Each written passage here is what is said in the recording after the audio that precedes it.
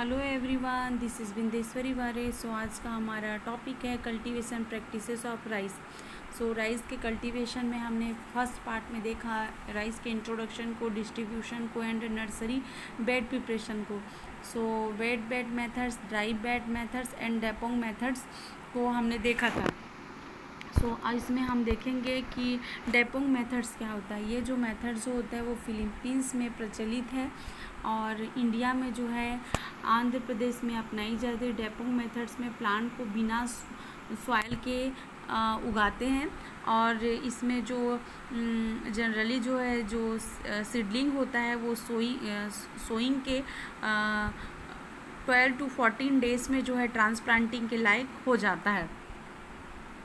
And इसके लिए जो है जो एरिया होती है, वो वन मीटर स्क्वायर एरिया जो है सफिशियंट होता है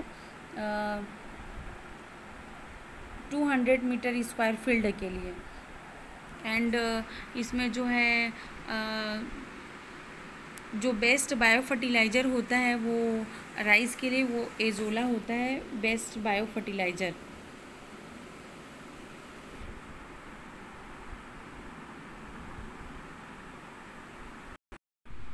and next हम देखते हैं मेन्योर एंड फर्टिलाइज़र को।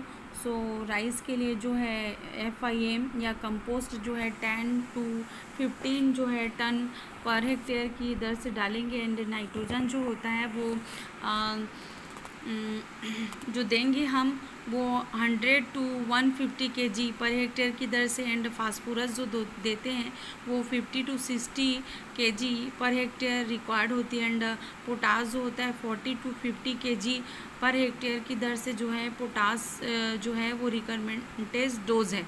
एंड जिंक सल्फेट देते हैं twenty five K G per hectare की दर से एंड ग्रीन मेन्योरिंग क्रॉप्स का यूज़ करेंगे, जैसे सनई ढैंचा एंड मूंग एंड उर्द का। एंड नेक्स्ट हम देखते हैं rice cropping scheme sorry rice के क्रॉपिंग सीजन्स को। सो जो है तीन आ, से तीन सीज़न में इसको लगाया जाता है। सो ऑटम जिसको आंस कहा जाता है। एंड इसकी जो सोइंग जो होती है मई टू जून में करते हैं। एंड विंटर में जो है जो कि रवि है उसको अमन राइस बोला जाता है। इसको जो है जून टू जुलाई में इसकी सोइंग की जाती है।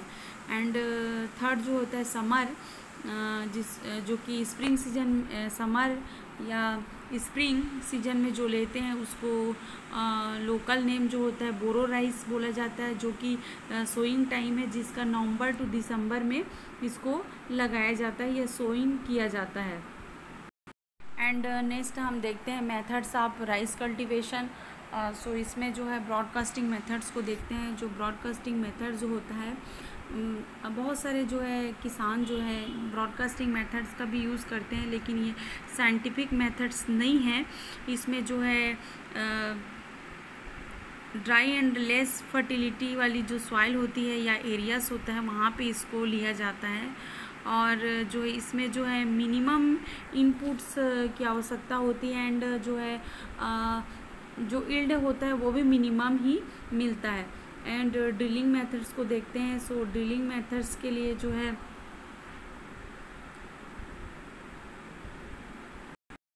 ड्रिलिंग मेथड्स में जो है सोइंग करने के लिए पंक्तियों में बुआई की जाती है।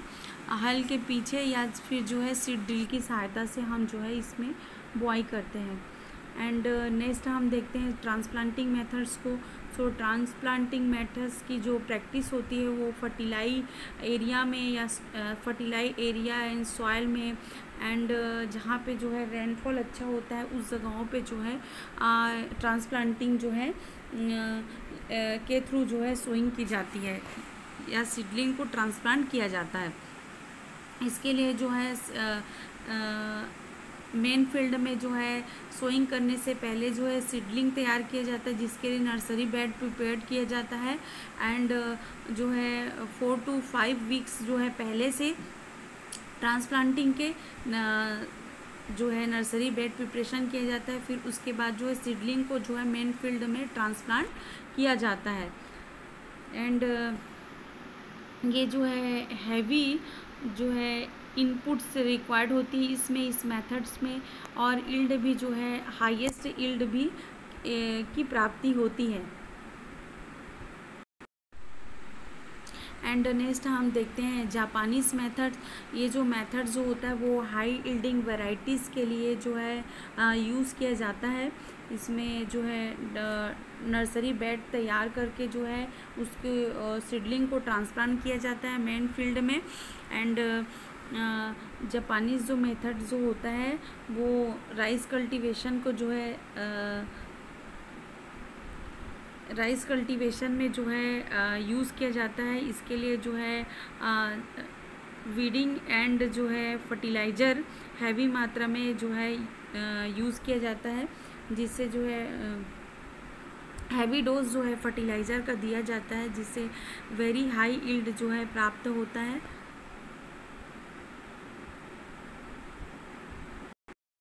एंड नेक्स्ट हम देखते हैं क्लासिफिकेशन ऑफ़ राइस सो इसके लिए जो है राइस की जो है, ओराइजा की ट्वेंटी फोर स्पीसीज़ है, जिसमें से जो है दो ही स्पीसीज़ कल्टीवर है. सो फ़र्स्ट हम देखते हैं ओराइजा सटाइवा. ये जो है डिप्लॉयड होता है, जिसका क्रोमोसोम नंबर जो होता है टू एन ट्वेंटी फोर है इसकी जो है थ्री जो है सब स्पीसीज़ है, जिसमें पहला जो होता है इंडिका भारत में उगाई जाने वाली जो है राइस की इंडिका सब स्पीसीज़ से रिलेटेड है या जो है सब स्पीसीज़ मैन्यूर एंड फर्टिलाइज़र के प्रति जो है आ, आ,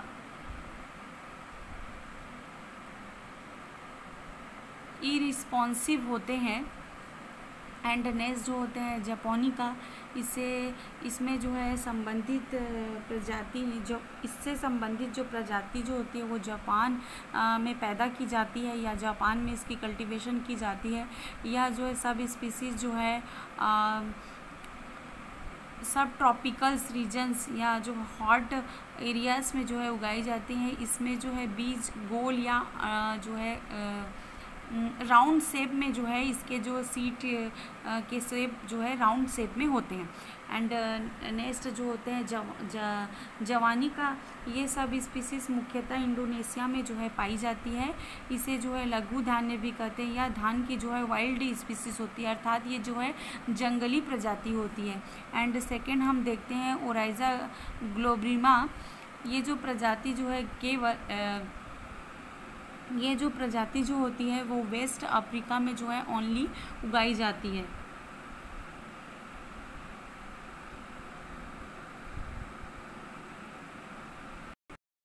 एंड नेक्स्ट हम देखते हैं seed rate so broadcasting method से यदि सोइंग करते हैं तो उसके लिए जो hundred K G seed rate per hectare की रिक्वायर्ड होती है एंड ड्रिलिंग मेथड से sixty K G per hectare and hybrid rice है तो उसके लिए फिफ्टीन के जी पर हेक्टेयर सीड की रिक्वायर्ड होती है। डेपोंग मेथड में three to four K G जो है मीटर स्क्वायर जो है प्रति मीटर स्क्वायर जो है सीट की रिक्वायर्ड होती है thirty to forty metre square area upon per hectare की दर से। एंड स्पेसिंग जो रखते हैं वो twenty into ten centimetre metre जो है स्पेसिंग रखी जाती है। एंड नेक्स्ट हम देखते हैं सीड रेट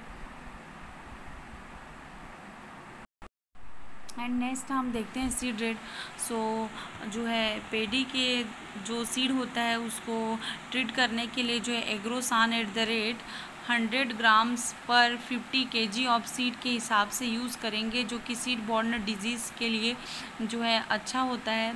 सो सीड ट्रीटमेंट करके जो है आ, आ, सीड की सोइंग करेंगे। एंड नेक्स्ट हम देखते हैं क्लाइमेट्स को। सो so, इसके लिए जो है हॉट एंड ह्यूमिड क्लाइमेट जो है राइस के कल्टीवेशन के लिए सुटेबल माना जाता है। जिसका एनअल रेनफॉल जो है वन फोर्टी वन फोर्टी जो है हो। एंड एंड एवरेज जो टेम्परेचर होता है प्लान ग्रोथ के लिए वो ट्वेंटी वन टू थर्टी से थर्टी सेवन सेल्सियस जो टेम्परेचर जो है सुटेबल माना जाता है राइस कल्टीवेशन के लिए। एंड सॉइल को देखते हैं सो सॉइल जो है क्ले लोम सॉइल जो है सुटेबल होता है। एंड पीएच जो वैल्यू uh, होनी चाहिए वो जो है four point five to eight pH वाली जो सॉइल होती है, वो राइस की कल्टीवेशन के लिए अच्छा माना जाता है। एंड एसिटिक सॉइल जो है, are good for rice cultivation. मतलब राइस के कल्टीवेशन के लिए एसिटिक सॉइल को भी जो है बेहतर माना गया है।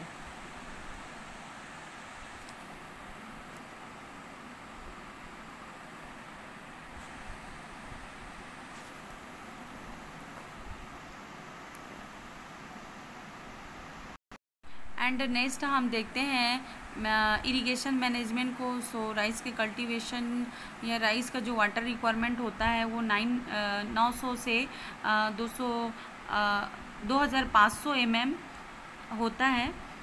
सो क्रिटिकल स्टेज जो होती है सो so, पहला क्रिटिकल स्टेज जो है panicle initiation stage and second जो होता है pre flowering stage and third जो होता है फ्लावरिंग टाइम एंड फोर्थ जो होता है ग्रेन फार्मेशन के टाइम एंड फिफ्थ जो होता है बूटिंग स्टेज में। इन स्टेज में जो है राइस की क्रॉप को जो है इरिगेशन कर देनी चाहिए। अब नेक्स्ट हम देखते हैं वीट कंट्रोल को। सो वीट यदि राइस के कल्टीवेशन करने में वीड्स प्रॉब्लम आ जाते हैं तो उसके लिए उससे जो है इल्ड जो है, वो ट्वेंटी टू फोर्टी परसेंट जो है रिड्यूस हो जाती है। तो सो मोस्ट जो कॉमन वीड्स है, जो राइस के कल्टीवेशन में प्रॉब्लम्स क्रिएट करते हैं, जैसे कि काइनो को Cola क्लोनो colonum and Echinochloa crus galli and Cyperus species Cyperus difformis ये सारे जो हैं ईटीसी e ये सारे जो वीड्स हैं जो कि राइस कल्टीवेशन में प्रॉब्लम क्रिएट्स करते हैं। सो so, इसके कंट्रोल के लिए जो है हम वीड्स के कंट्रोल के लिए वीड्स को रिमूव करेंगे।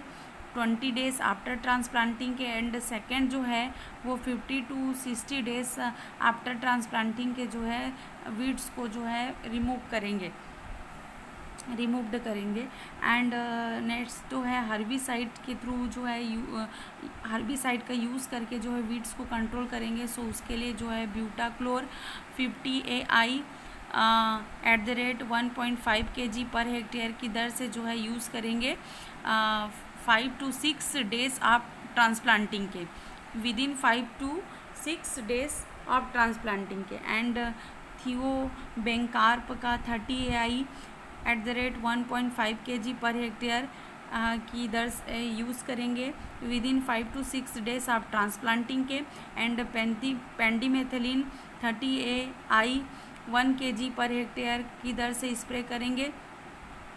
Within one to two days of direct seeding seeding of paddy इस प्रकार से जो है इन दिए गए हर्बिसाइड का यूज़ करके हम यूज़ करेंगे वीड्स को कंट्रोल करेंगे। एंड नेक्स्ट हम देखते हैं सी आर आई मैथड्स को जिसका फुल फॉर्म होता है system of rice intensification ये जो डेवलप है ये जो मेडागास्कर में जो है आ, इसको डेवलप किया गया था फादर हेनरी डी लोनेली के द्वारा जो है इसको डेवलप किया गया था। 1983 1980 में। एंड एंड जो है हमारे यहाँ जो है इंडिया में जो है थाउज़ेंड टू से टू थाउज़ेंड थ्री में जो है, फार्मर्स, फार्मर जो है एक्सपे, एक्सपेरिमेंट जो है स्टार्ट हुआ हमारे इंडिया में। एंड जो है इसका, ये जो है सिस्टम ऑफ़ राइस इंडेंसिटिफिकेशन जो है, प्रति यूनिट एरिया में कम से कम लागत में प्रोडक्शन प्राप्त कर, करने के लिए जो मेडागास्कर में फादर्स हेनरी डी लिनोनी ने राइस प्रोडक्शन टेक्नोलॉजी डेवलप की, जो कि सिस्टम ऑफ़ राइस इंडेंसिटिफिकेशन या श्री मेथड्स या जो है मेडागास्कर टेक्नोलॉजी के नाम से जाना जाता है। इसके जो है कुछ प्रिंसिपल्स हैं, जैसे कि इसमें जो है एट टू टेन डेज़ के जो नर्सरी में जो तैयार पौधे रहते हैं, उसको ट्रांसप्लांट किया जाता है। एंड जो सेकंड जो होता है, वो स्पेसिंग लिया जाता है, वो twenty five into twenty five centimetre अर्थात twenty five centimetre row to row and twenty five centimetre plant to plant जो है स्पेसिंग इसमें रखा जाता है। एंड जो है वीडिंग किया जाता है वीडर से कोनो वीडर के थ्रू जो है वीडिंग किया जाता है। एंड यूज़ ऑफ़ ऑर्गेनिज ऑर्गेनिज्म एंड यूज़ किया जाता है ऑर्गेनिक्स का। एंड नेक्स्ट हम देखते हैं इसके कुछ एडवांटेज एडवांटेजेस हैं। थ्री मेथड्स के सो so, इसमें जो है थर्टी टू फोर्टी परसेंट जो है इरिगेशन वाटर इरिगेशन वाटर का जो है सेविंग हो जाता है एंड एटी फाइव परसेंट जो है सीड की सेविंग होती है and saving of chemicals inputs and जो केमिकल्स इनपुट्स होते हैं उनकी सेविंग हो जाती होती है एंड हेल्दी uh, होता है ये क्योंकि ऑर्गेनिक फ़ार्मिंग प्रैक्टिसेस इसके द्वारा हम जो है करते हैं जो कि हेल्दी हेल्दी होता है ये। Better and high yield with low inputs मतलब कम लागत में जो है अधिक और जो है अच्छा इल्ड प्राप्त हो जाता है। क्रॉप ड्यूरेशन जो है रिड्यूस होता है seven to ten days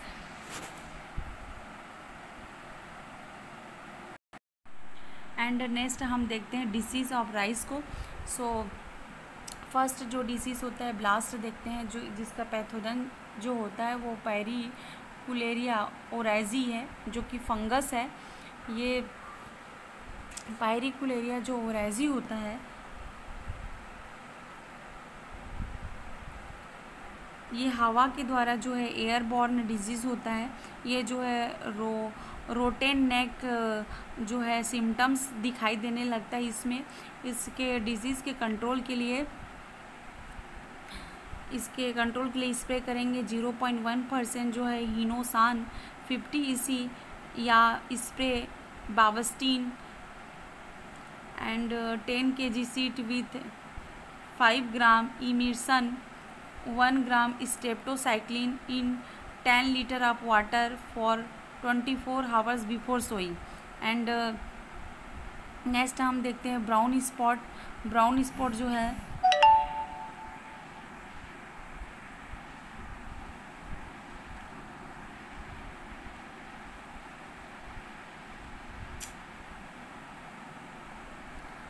and next हम देखते हैं ब्राउन स्पॉट ब्राउन स्पॉट जो है जिसका पैथोजन तो होता है हेलीमिंथो स्पोरियम ओरेजी ये ब्राउन स्पॉट जो है, जो जिसके कारण से जो है 1943 में बंगाल में भयानक अकाल पड़ा था और ब्राउन स्पॉट जो है जिसके लिप्स में जो है सर्कुलर आकार के जो है डार्क ब्राउन कलर की स्पॉट बन जाते हैं। एंड इसके कंट्रोल के लिए देखेंगे थ्री टू फोर स्प्रे करेंगे zero point two percent zineb या mancozeb seventy five W P का।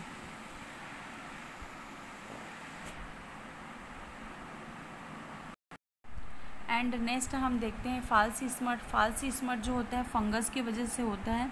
इसमें जो है जो राइस के ग्रेन होते हैं, उसमें लाई फूटने के समान हो जाता है वो। एंड इसके कंट्रोल के लिए स्प्रे करेंगे zero point two percent copper oxychloride का फिफ्टी परसेंट पैनिकल इमर इमरजेंस में। एंड सीट ब्लाइट को देखते हैं।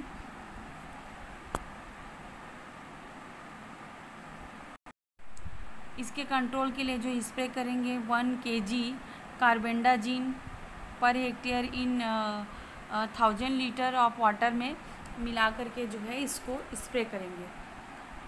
एंड नेक्स्ट हम देखते हैं इंसेक्ट को सो इंसेक्ट जो है स्टेम बोरर लगता है, जिस, जो है, जिसका लार्वा जो है डैमेज करता है। एंड uh, जो है स्टेम को जो है लार्वा जो है फ़ीड करता है और उस प्रकार से इस प्रकार से जो है डैमेज करता है ग्रोइंग पॉइंट को।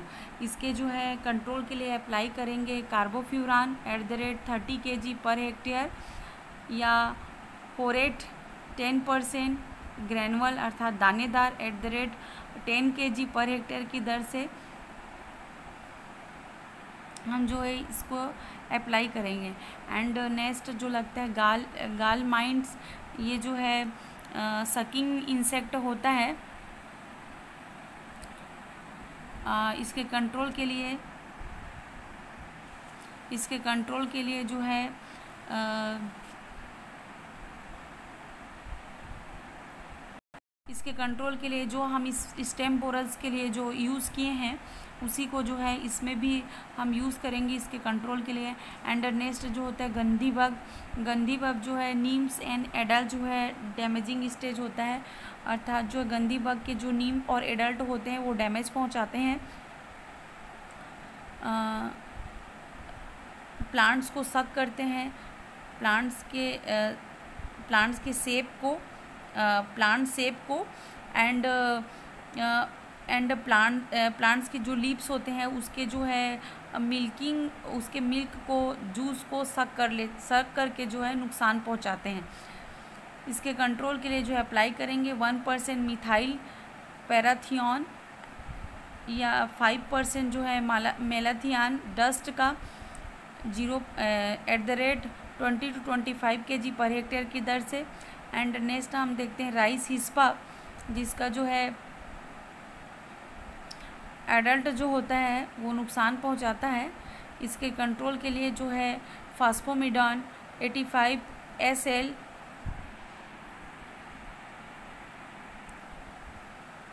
at the rate zero point five millilitre का यूज़ करेंगे। And monocrotophos thirty six S L sorry E C at the rate one M in one litre of water या dust two percent methyl parathion at the rate twenty K G पर hectare की दर से use करेंगे। इसके rice hispa के control के लिए। एंड हार्वेस्टिंग को देखते हैं सो जो है, इसकी जो हार्वेस्टिंग जो होती है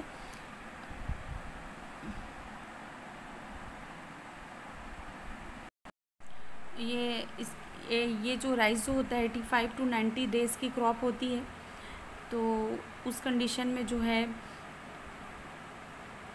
जब इस स्पीकलेट जो है गोल्डन हो जाए या हार्ड हो जाए मतलब पूरी जो है पत्तियाँ जो है सूखने लग जाती है ब्राउन कलर की हो जाती है पूरे प्लांट जो है तब इसकी हार्वेस्टिंग कर देनी चाहिए। एंड हार्वेस्टिंग जो है twenty two, twenty six percent moisture content जब रहता है प्लांट्स में, तब इसकी हार्वेस्टिंग कर देनी चाहिए। एंड स्टोरेज के लिए जो है, ट्वेल्व टू फोर्टीन परसेंट जो है मॉइस्चर हो, उस कंडीशन में स्टोरेज करनी चाहिए। एंड इल्ड को देखते हैं, सो इल्ड जो है यदि शॉर्ट ड्यूरेशन वाली जो क्रॉप है तो उस कंडीशन में 45 to 55 quintal per hectare yield मिलता है। यदि हाइब्रिड राइस है तो 60 टू 70 कुंटल पर हेक्टेयर की दर से इल्ड मिलता है।